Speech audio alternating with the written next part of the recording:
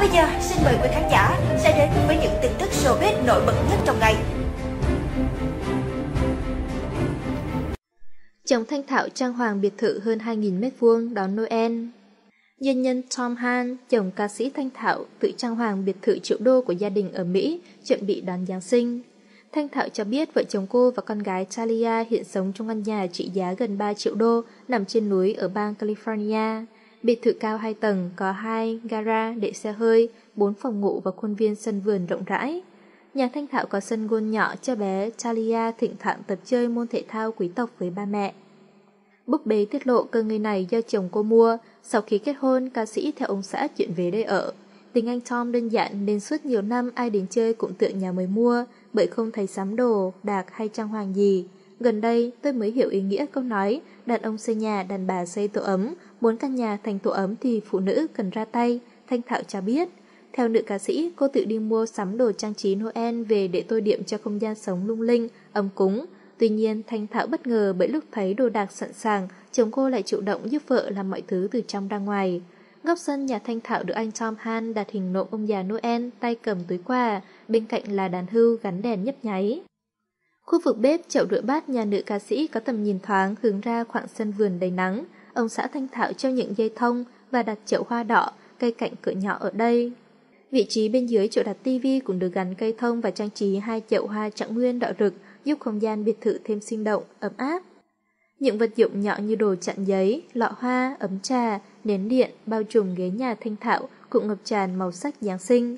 Tôi mua nhiều thứ quá nên loay hoay không biết bố trí xếp đặt thế nào cho hợp lý, nhất là những món nặng và cao. May nhờ ông xã ra tay đã làm hết nên tôi khỏe re. Anh ấy leo lên tận nóc nhà gắn đèn màu, cắm từng cây đèn dưới bãi cọ dẫn vào nhà.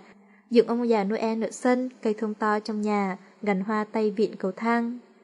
Nói chung chuyện gì khó là có chồng lo, anh làm mọi thứ trong sự vui vẻ, thoải mái, hứng thú và tràn đầy yêu thương, Thanh Thảo kể.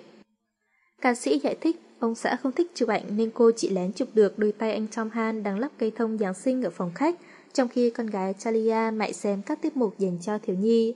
Sống với nhau lâu từ từ mới hiểu nhau, tìm thấy điểm chung của hạnh phúc. Mới đây ông xã tôi có quan điểm khác người, anh không thích nhà nhiều nội thất, đồ gia dụng, tủ lạnh không bao giờ trụ đồ ăn quá một ngày, không để thùng rác trong nhà để bỏ rác, không treo màn cửa sổ vì sợ bụi, không trưng tranh ảnh lên tường. Hai thứ duy nhất được để trong nhà là các khung đĩa CD, album của tôi và tất cả huy chương chạy marathon của chồng. Thanh Thảo tiết lộ.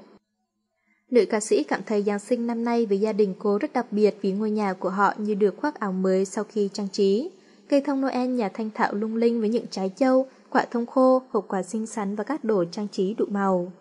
Tay vịn cầu thang dẫn lên tầng 2 cũng được chồng cô gắn dây thông, điểm xuyến những chiếc nơ đỏ. Giờ tôi mới nhận ra ông xã không phải khó tính, khó chịu, mà do mình chưa biết dung hòa với anh mà thôi.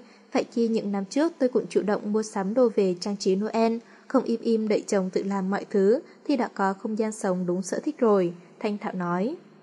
Vợ chồng Thanh Thảo bên nhau gần 8 năm, họ sống chủ yếu ở Mỹ, thỉnh thoảng về Việt Nam thăm bạn bè, người thân, đi diễn hoặc du lịch. Thanh Thọ cho biết dịp Giáng sinh năm nay cô bận bịu chạy sâu ở Mỹ, nhưng sẽ cố gắng tranh thủ từng phút rảnh rỗi để quây quần, đi chơi Noel cùng chồng và con gái.